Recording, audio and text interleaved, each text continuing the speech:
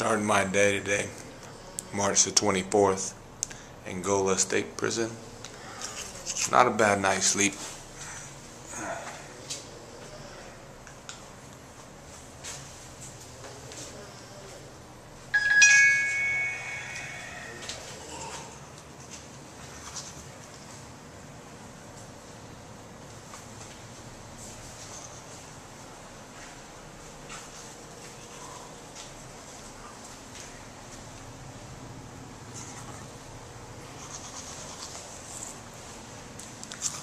Getting ready to go take a shower.